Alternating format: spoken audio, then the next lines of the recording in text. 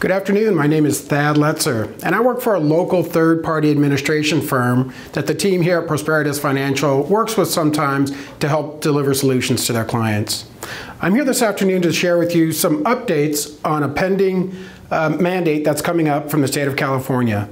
For all small businesses that don't currently offer a retirement plan for their employees, CalSavers is coming up and requires every small employer to sponsor some type of retirement plan. For those of you that already sponsor a plan, a 401k, a 403b, a defined benefit, a profit sharing plan, you are exempt from this mandate. For those of you though that don't yet have a retirement plan, June 30th of this year is the required deadline for any employer with 50 employees or more. Last year, employers with 100 employees or more were required to satisfy the mandate. If you don't yet have a plan and you have more than 100 employees, you should probably get on that quicker. For those of you though with just 50 employees or more, June 30th of this year is your deadline. So we just wanted to provide a gentle reminder that this deadline is coming up quickly for you and provide just a quick overview of what the Cal Savers mandate requires of you.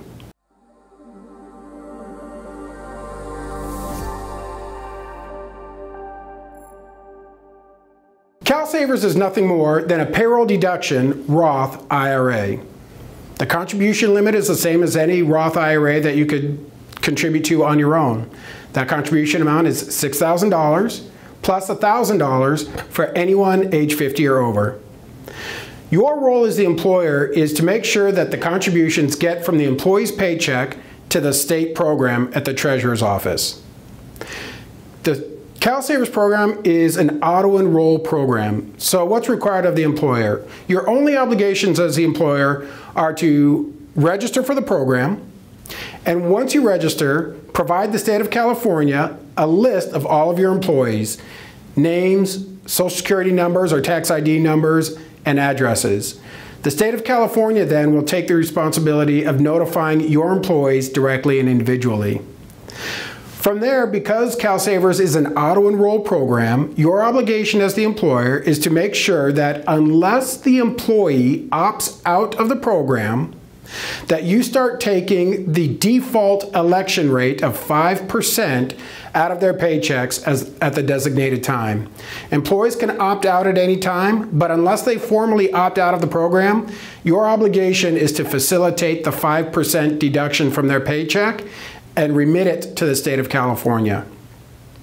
On an ongoing basis, your obligation continues uh, because this plan is an auto increase program as well. So, on the anniversary date of your employee's participation in the plan, you need to make sure that you're auto increasing their contribution amount. So, for this year, if they start at 5%, next year on their anniversary date of participation, up it to 6% and so on for the next year and the year after until they reach a maximum contribution rate of 8%. At any time, the employee can go to the CalSavers website and register themselves in, opt out of the program, increase their contribution amount, decrease their contribution amount, and take full responsibility for the investment management of their program. That's really it for the CalSavers program. That's how it works. It was designed to keep administration for you as the employer to a minimum, but be advised it will be your responsibility to make sure that those deductions come out of their paychecks and get remitted to the state. For those of you that may still need to uh, qualify and register for the mandate, and uh, for any additional questions, please feel free to contact the team here at Prosperitas uh, for more information. Thank you so much.